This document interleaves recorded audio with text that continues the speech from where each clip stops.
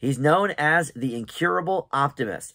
He's also known uh, for many other things, including being the star of one of my favorite movies of all time, Back to the Future. Let's talk about the Michael J. Fox documentary, Still.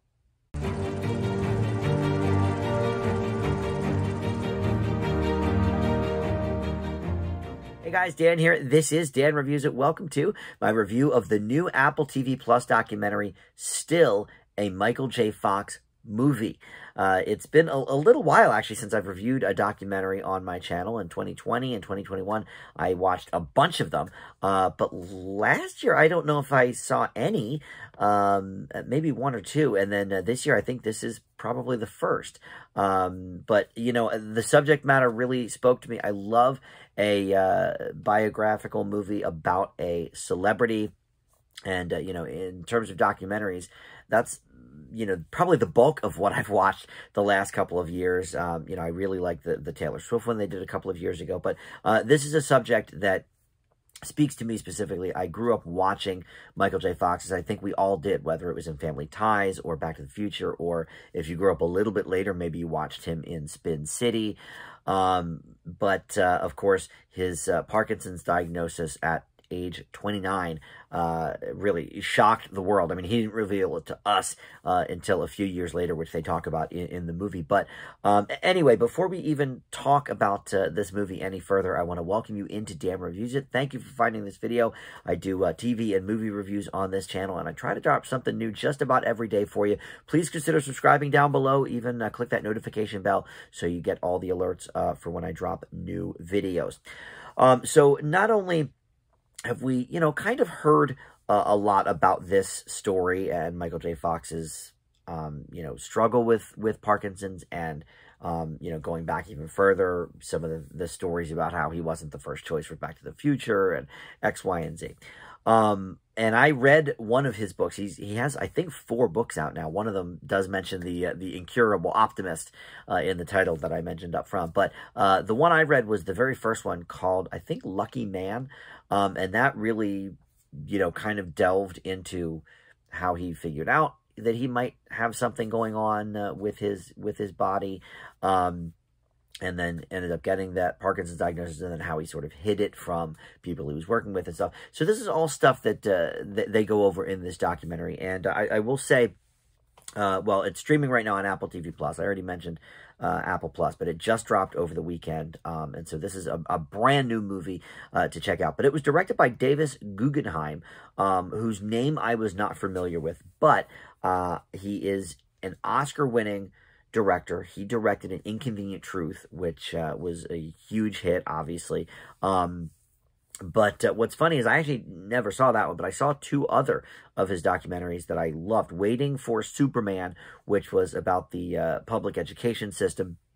And then It Might Get Loud, which is about uh, guitar gods, basically, uh, Jimmy Page, Jack White, and uh, The Edge from U2 just kind of, you know, talking about their techniques and riffing. And um, it was, I think even a non-musical person would, would get something out of this. So th this guy really knows how to um, find sort of the, the uh, everyone can get this message and everyone can get behind this person, this subject um, that, that we're dealing with in the documentary. And so the subject here is Michael J. Fox. And, uh, you know, he is just one of the most loved people. And I think he's always been one of those people, you know. I, I mean, I remember, obviously, in the 80s and, and 90s, it wasn't such a, you know, a, a, tabloid type world. TMZ didn't exist and all this kind of stuff. But you had the National Enquirer and, you know, some of, some of the rags uh, at the newsstand. But um, I really never heard growing up any, any sort of, you know, scandals with Michael J. Fox. You know, everybody really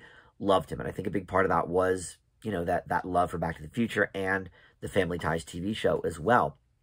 Um, but then when he got his diagnosis, I think we all sort of collectively as, as a world were just like stunned, you know, um, especially because I know for me personally, you know, I think a lot of us, and he talks about this in the movie, think of it as or thought of it as uh, more of an, an older person's uh, issue. And here he was, you know, diagnosed with it at 29. So um, this movie tackles uh, the entire sort of career of Michael J. Fox. Um, and obviously the Parkinson's, um, and kind of catches us up to speed of what's going on now with him and how he is sort of uh, deteriorating, um, you know, for lack of a better word. Um, and it's kind of shocking to see because I know I hadn't seen him really uh, for a few years probably. You know, for a little while he was doing guest spots on TV shows pretty frequently. He was on Rescue Me and Curb Your Enthusiasm and The Good Wife. Um, and I actually did see him in person at uh, the one and only Comic Con I went to. They had sort of a Back to the Future panel. Um, and I actually got my DVD. It's up there on the wall somewhere. I got uh, my DVD autographed by Bob Gale, um, who was uh, one of the producers and I think maybe co-wrote the script. Um, but, you know, they did a panel with Michael J. Fox and Christopher Lloyd and, Lea Thompson. And this was probably 2015 or 16, I would say. Um, and, and, you know, he was still um, doing pretty well at the time, and he was still doing guest roles on shows and stuff. Um, but in the last couple of years, um, you know, as we see in this documentary, he's definitely uh, taken a bit of a turn, and he talks very frankly about how he's probably not going to be here uh, in in 20 years or less. Um, you know, and perhaps uh, he will just fall one day and that will be that. He's he talked about how he's he's been falling a lot lately and stuff like that. Um, so the uh, the interesting thing is there's such a big wealth of clips from different TV shows and movies that he's done over the years.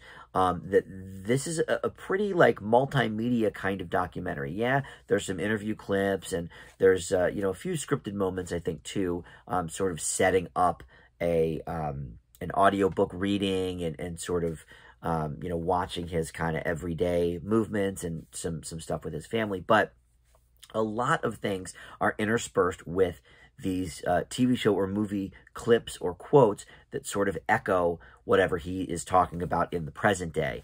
Um, you know, whether it's the history of his career or uh, the, the disease or, or anything else.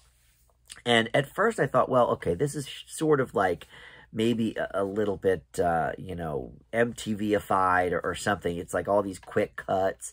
Um, but actually, as a framing device, as the movie kept going, I found myself kind of fascinated that there were so many clips that dealt with so many different things.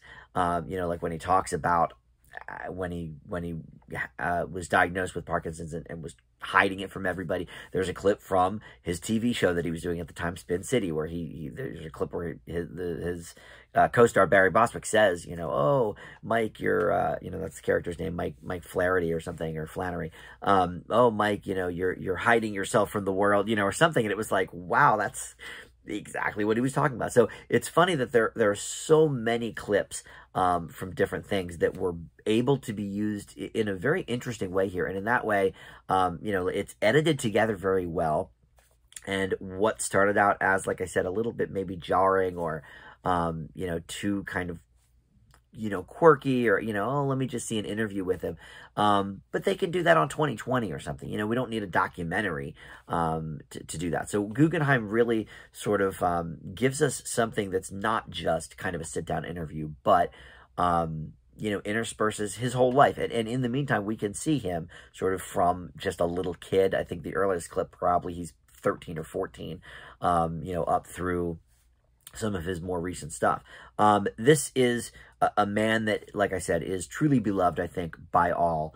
Um, I'm not sure if this, other than kind of the present day stuff, um, was, you know, some sort of eye-opening revelation. You know, if you read you know, any of his books, or specifically the one I read, uh, Lucky Man, where he sort of talks about a lot of this stuff um, it won't necessarily come as a shock. And I do think maybe some of the, uh, like the narration or the voiceover clips they were playing might be taken directly from the audiobook version of Lucky Man. Because when he was saying things, I, I thought, man, that really sounds exactly familiar to me. I didn't look into that. I'm not sure if that's true. But um, if that's the case, that works too because his voice now is a little bit more, you know, gravelly, a little bit more shaky. And that was, you know, almost 20 years ago, I think, at this point. So it makes sense, you know, to, to maybe, you know, pull, pull from that. Uh, if we're able to. But it, he's put together a very, very compelling movie for sure. Um, like I said, if you read the book, maybe some of this stuff won't be new to you. But um, but he's a fascinating man, certainly. And uh, just, you know, it, it, yes, it's sad to watch sometimes, but Um, his positivity shines through as it always has. The incurable optimist um, is really an, an, apt moniker for Michael Fox for sure. Um, I really liked this movie. Uh, very much, and it's on Apple TV Plus for streaming right now. I give still a Michael J. Fox movie an A minus. Uh, all right. I, guess I'll have to check out some other documentaries. I didn't realize until this movie how many I've missed over the last uh, year and a half or so. So, uh, anyway, thank you for watching. We'll see you next time on Dan Reviews It. Bye.